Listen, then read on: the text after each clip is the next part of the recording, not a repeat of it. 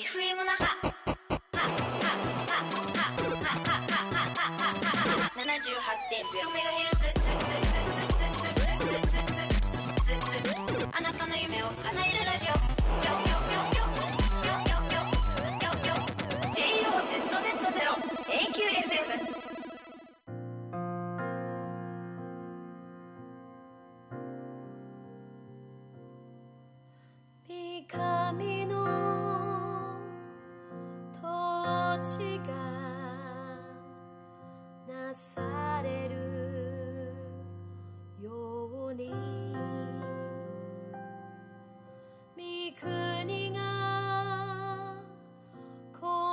去你。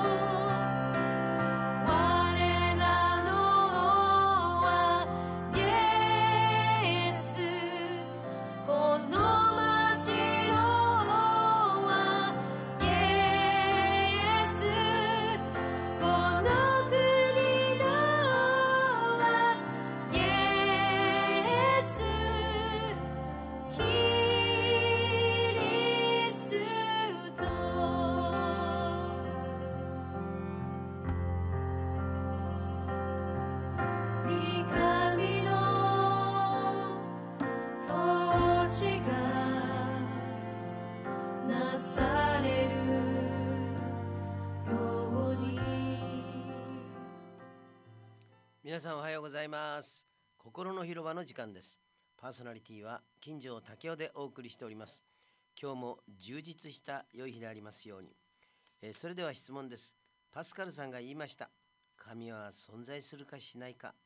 あなたはどう思いますか？ある人はこう答えます。どちらかを選べという方が間違っているんじゃない？そんなの考えなくてもいいんじゃない？無関心だからパスします。そういう人にパスカルさんは言いました。いやすでにあなたは人生という船に乗っているんだからどちらかにかけなければならないんだよ。どちらも選ばないというのは結果的に一つの選択になるからです。どちらも選ばないというのは神はいないというのを選んだのと同じです。私たちは必ずどちらかを選ばなければなりません。神がいる方にかけてうまくいった場合は最高の人生を送れでし送れるでしょう。それで神がいなかったとしても何の問題もありません。失うものは何もないのですから。しかし神がいないという方にかけて神がいたらどうなるでしょうか。損失はあまりにも大きく死後の世界で受けるすべての幸福を失うからです。あなたはパンセの問いにどのように答えられるでしょうか。多くの人が理屈からいけばどちらかにかけるか明らかです。しかし頭では理解できてもそれほど簡単には踏み切れません。神を信じるのは心であって理性ではないからです、えーあなたの決断をお待ちしております皆様からのコメントをメールで受け付けております。KOKORONAHA12345 アットマーク gmail.com まで心なはあ12345アットマーク gmail.com までお便りください。お便りお待ちしております。ですねえーそれではですね、えーまあ、続きと言いましょうかあ世界一ゆるい聖書入門からですね少しお話をうん取っていきたいと思います。イースターってキリスト教でよく言われるんですけどもイースターって皆さんどんな日か知ってますか？時々ねちょうどイースターの季節になると海外のニュースの中であのイースターの模様がですね、えー復活祭というのが伝えられてくるんですけども日本でこのイースターが大々にわで大々的に祝われるっていうことは地域レベルではあんまりないですね。本当は地方のですねカトリック教会があの非常に強いところではイースターは大々的に祝われているんですけどマスコミは一度もそれを取り上げません。日本のマスコミってね本当に不思議なんですよ。アンチキリスト教ですねこれね、えー、やっぱり明治維新の頃からですね明治維新の頃明治政府はですね世界中に豊国神社をはじめとして徳川幕府の影響をなくすためにたくさんの神様を作りました。たくさんの神様を作ったんですね、えー、それでみんながですねあのいわゆる聖書の神に心が動かないようにまた徳川家康に心が動かないようにですね進化論を採用しました。進化論って何ですか？人間自らが進化したというそういうストーリーですよね。だから中心はね人間なんです。つまり自分が神様っていうのが進化論のいくつくところでございますね。でも考えてみてください。自分が神様なんてとてもとてもと思うのではないでしょうか。自分の髪の毛一本さえ自由に増やすことはできないんです。なんか東国原さんがね髪の毛の新しい気配薬できたとかコマーシャルやってますけども髪の毛一本でさえも自由に私たちを生やすことも落とすこともできない。もうこれは簡単ではないですね。切ったと思ったらまた生えてくるですね。それがですね私たちの髪の毛であります。残念ながらですね、え、新しく髪の毛生やすことも非常に難しい。諸問題が大きく関わりますね。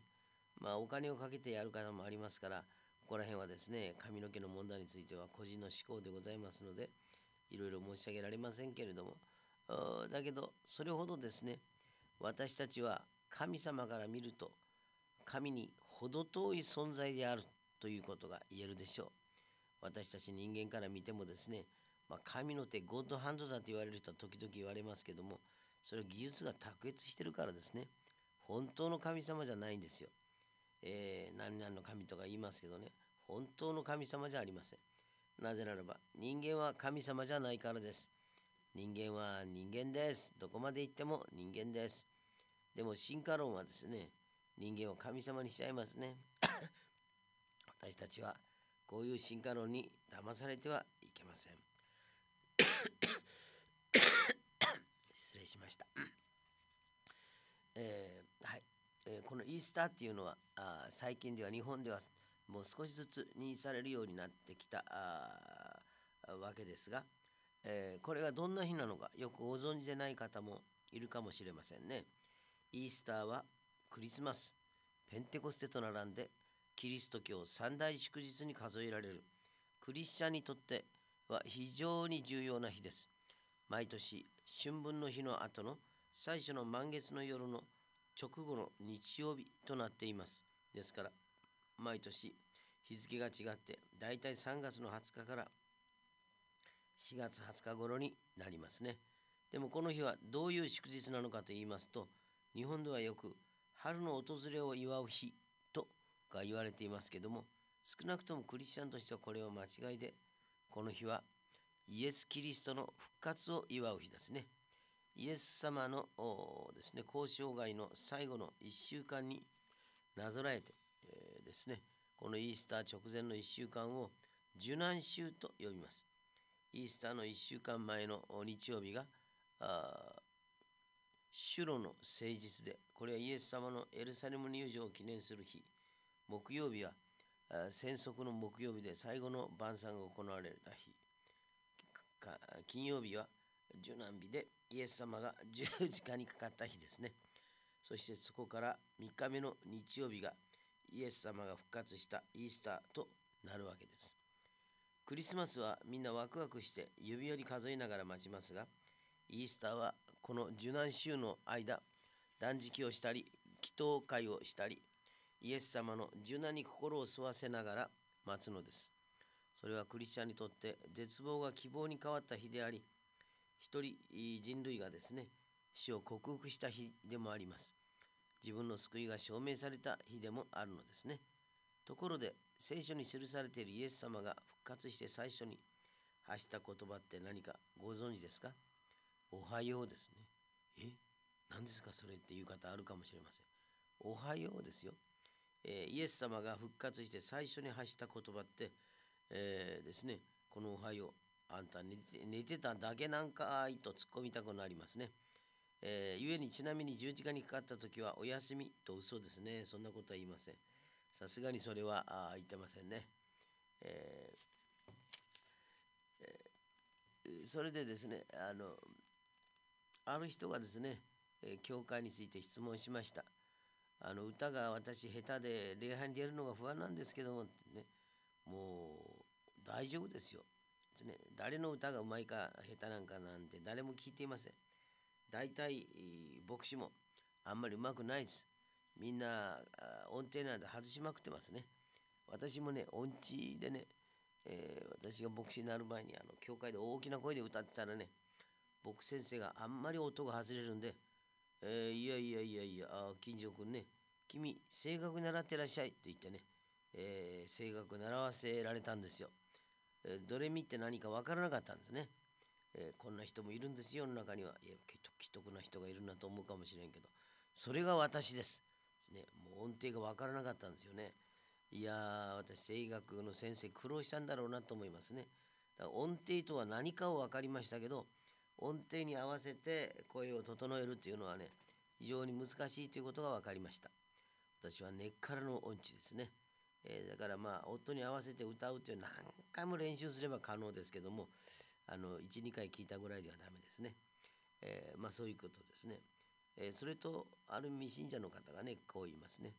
教会って献金とか取られるんでしょ？宗教って金次第じゃないっていう人がいますね。えー、初めての人からは教会お金取りませんしクリスチャンだって自分でそれぞれ無理なく出せる範囲でしか出してません。財政的に厳しい時などに献金のお願いをすることはありますが、日常的に、えー、何円ノルマですよとかですね、やたらもっとよこせなんていう教会があったら、それはまともな教会ではなるカルトか何かですね。だから、まあそういう場合は逃げてください。ですね。すぐ逃げた方がいいですね。ノルマなんかあるけど、献金っていうのはね、ノルマじゃないんですよ。自分で決めた通りにしなさいと。キリスト教というのは最大限自主性を重んじる重んじるんですね。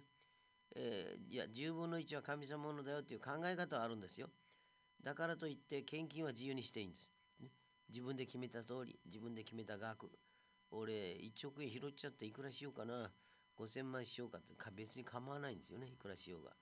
いくらしようが構わないんですけども、税金はあのしっかりかかってきますからね、気をつけてください。えー、まああのある人がこう、ね、教科に行こうかなと思って悩んだそうですね。どんな悩みかというと教会ってどんな格好で行けばいいの？ですね。えー、普段着で OK ですよ。特に服装の規定はありませんが常識的にあまり露出の多い格好だとか奇抜な格好だとかは避けていただいた方が良いと思いますね。えー、逆にあんましいい服を着てくれると教会の子供たちにじゃれつかれて汚されたりしますので注意してくださいね。まあということでね、えー、うん、あの服の汚れは自己責任で教会責任を負いませんのでね、まあ、そういうことですね。えー、格好は普通でいいっていうことですね。えー、じゃあ礼拝ってどの席に座ればいいのっていう質問がありました。ですねえー、教会にはおよそですね上座も下座もありません。えー、好きなこと好きな場所に座ったらいいですね。え、最前列でもですね、最後尾でも構わないですね。どこでもいいんですよ。え、どこでもいいんですか？いや、どこでもいいんです。え、そういう感じで、あの僕先生と兄弟姉妹がこう祈ってる場合はですね、できるだけ祈りが強い人の方が前行った方がいいでしょうね。でも基本的にあのどこ座ってもいいですからね。どこ座ってもいいからどこでも座って礼拝を守るっていうのはすごい祝福と恵みがありますね。はい。えー、礼拝って何を持っていけばいいのってね。クリスチャンっていうのはですね、あの礼拝の時何持っていくか大体聖書しかみんな持っていかないですね。聖書と財布。あとは打ち合わせのスケジュール表ぐらいかな。まあそんなものですね。ほとんどの方がですね、何か特別なものを持っていくっていうことはありません。だからぜひ皆さんですね、教会に自由においでください。ね、自由においでくださって、そうして、えー、自分の人生を楽しまれたらいいと思いますね。えー教会にはですね上座も下座もありません下座もないんですね、えー好きな席に座りましょうそして、えー何を持っていけばいいかというとですね、えーまあほぼどこでもですね教会に備え付けの聖書とかあの歌の本とかありますから何も持ってない人には貸してくれると思いますね。だから手ぶらでいいんです。えいいんですかってなんかね手ぶらでゴルフっていうコマーシャルありましたけどね。教会って手ぶらでいいんですね、えー礼拝ってどうやるのっていう質問がねありましたね。はい、みんなで歌って、えーみんなで、えー何聖書を読んで先生のお話を聞く、えー卒業式と同じです、えー音楽式って別に難しくないでしょ。卒業式は間違っと間違うのは先生に怒られたりします。